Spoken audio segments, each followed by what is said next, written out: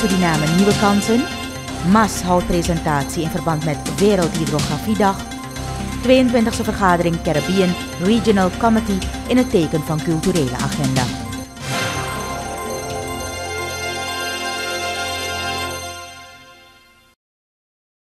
Goedenavond, mijn naam is Suzanne Meijnaar. Dit is het STVS Journaal.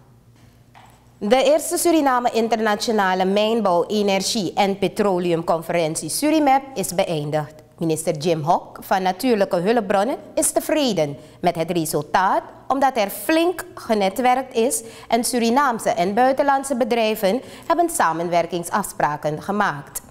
We hebben bijvoorbeeld afspraken gemaakt met um, de Geosciences uh, Instituut van Zuid-Afrika.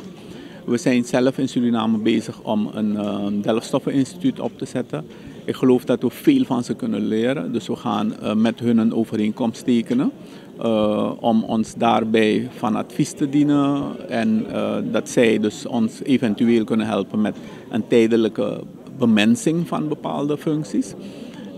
Wij hebben um, gesproken met organisaties in Trinidad, Trinidad Energy bijvoorbeeld, om toch wel Suriname beter voor te bereiden op olie, olie van offshore.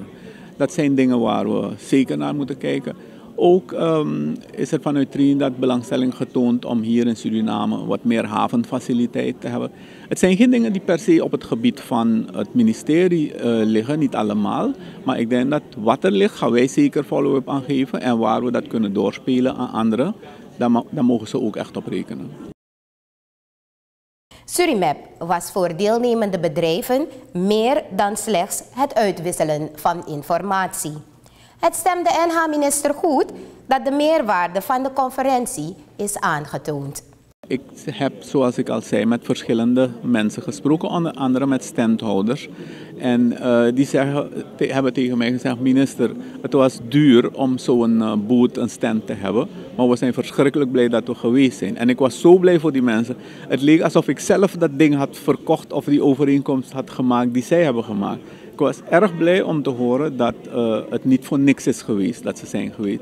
En dat er ook, laat me zeggen, voor wat betreft een, een, een, een ervaring met een stuk professionalisme, dat ze dat in Suriname konden opdoen. Want de hele benadering van de ex exhibition was erg professioneel, zoals u zelf ook hebt kunnen zien.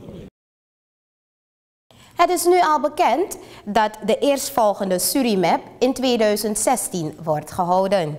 Het voornemen is om het aantal thema's uit te breiden met water en milieu. In verband met Wereldhydrografiedag morgen heeft de afdeling Nautisch Beheer van de Maritieme Autoriteit Suriname, MAS, een presentatie gehouden over nieuwe ontwikkelingen bij de MAS. Naast het ontwikkelen van nautische kaarten verricht deze afdeling ook andere onderzoeken. Uh, we denken in het kader van het uh, dat thema, dat is hydrografie meer dan, uh, is meer dan nautische kaartproductie, dat het de bepa bepaling van die uh, maritieme grenslijn tussen Frans-Guyana en Suriname, dat dat een van onze of de belangrijkste voor ons nu is. Wat is het verschil tussen een maritieme grenslijn en een gewone grenslijn? De grenslijn is uh, dat wat uh, twee landen scheidt aan land. En de maritieme grenslijn is uh, degene die dan, de lijn die dan op zee de, de grens bepaalt tussen twee landen. De Marina is, uh, en de Pacific zijn twee opmetingsvaartuigen. We gebruiken die ook voor andere activiteiten, voor, voor de MAS, maar voornamelijk opmetingsvaartuigen. We gebruiken die om onderzoekingen te doen, hydrografische metingen uit te voeren. Het thema van dit jaar is veel meer dan alleen voor nautische kaarten. De afdeling Nautisch Beheer coördineert lokale hydrografische activiteiten en processen. De medewerkers van deze afdeling verrichten het veldwerk middels apparatuur die vandaag getoond werd tijdens de presentatie. Aan de hand van de geluidssignalen van de apparatuur wordt actie ondernomen.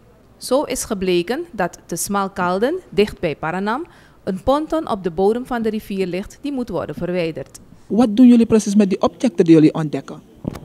Um, Afhankelijk van uh, waar ze zijn en hoe uh, onveilig ze zijn, zal er dan een plan worden uitgezet. Uh, bijvoorbeeld er wordt dan, dan, als het gedetecteerd is, een duiker gestuurd om dan echt dan te identificeren. En dan moet hij dan van, uh, als het notice bedreigend is, dan moeten we het uit het water halen. Wordt het weghalen van zo'n object ook door jullie gedaan? Nee.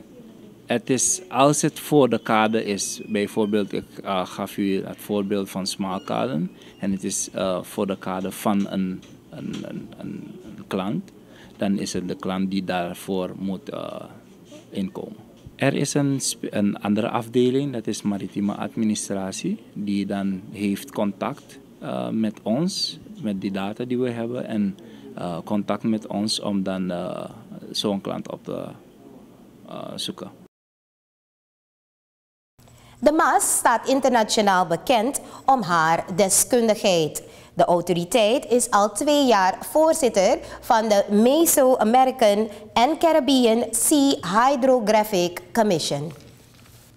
Nu de verkiezingen in Colombia achter de rug zijn, kan eindelijk het datum voor de eerstvolgende UNASUR-top worden bepaald. Tijdens deze vergadering zal het UNASUR-voorzitterschap door Suriname worden overgedragen aan Uruguay.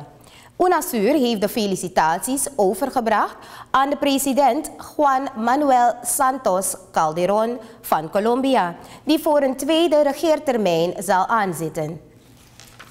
Binnen een week zijn twee projecten ondertekend voor het district Wanica. Afgelopen maandag werd het contract voor het project Oeverbescherming Marktplaats de Domburg getekend.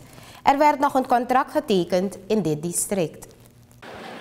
De contractondertekening vond plaats voor het project renovatie van de openbare markt Lelydorp in het district Wanica. En uh, vorige week is de evaluatie goedgekeurd door de IDB uh, en, en, een gunning, waardoor we vandaag uh, 9 juni tot contracttekening over, over konden gaan met de, met de aannemer Cornerstone. Roline Samsudin, districtscommissaris en de aannemer Cornerstone NV plaatsten hun handtekening onder het contract.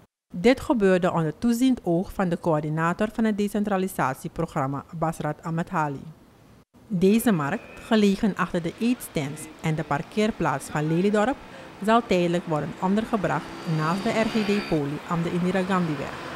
Martin Blenman, technisch projectleider, presenteerde het ontwerp van de nieuwe markt. Dus, uh, maar de, de U-vorm om, de, om het middenste stuk. Dat blijft wel gehandhaafd, omdat dat in redelijke conditie is. En die krijgt dan uh, een facelift, toiletgroep en zo worden hersteld. Er zijn 43 standhouders op de markt. De markt zal na renovatie niet verder worden uitgebreid. Tijdens de werkzaamheden zullen voorzorgsmaatregelen worden getroffen om het verkeer niet te belemmeren. De standhouders werken graag mee aan de tijdelijke verhuizing. Het is zo, het is goed, klaar. Aboom. Dat je u is goed. Dat heb ik niks meer te zeggen. En ik vind het wel leuk dat het ook gaat komen, die markt. Ja. En, en wat vindt u ervan als u tijdelijk naar een andere plek moet gaan? Want u gaat tijdelijk naar, aan ja, de overkant. Aan de overkant gaan, toch? Dat vind ik niet leuk. Dan lang af je maar toch wel bedoeling. Ja, toch? Wel, ik kom back dan met met de pride baka. Ik kan go proces daarbij maar ik kan kom baka Het project zal binnen vijf maanden worden afgerond. Na de afronding van de renovatie van de markt werden de standplaatsen van de Waroens en de parkeerplaats van Lelydorp aangepakt. Al langer dan een jaar zijn de percelen van bewoners de Hannaslust onder water. Openbaar Groen van het ministerie van Openbare Werken is vanaf gisteren bezig dit probleem te verhelpen. Het water is zo lang blijven zitten dat er permanente algenvorming is ontstaan. De stank is niet uit te houden. De bewoners hebben vaker hun beklag gedaan, maar zonder resultaat. De ondergelopen terreinen zitten vol ongedierte. Op het erf van een van de bewoners woont er zelfs een kaiman. Het gaat bovendien om een kinderrijke buurt waar er tenminste één ziek kindje is geregistreerd. John Lecton, onderdirecteur Openbaar Groen, zegt dat er met man en macht wordt gewerkt om het probleem op te lossen. Meerdamweg en een paar percelen hier. zijn onder water. En wat we hier doen is een noodoplossing. We hebben de weg opengesneden middels een wielbakko en we gaan duikers plaatsen. We hebben duikers gehad van ehm, een sponsor.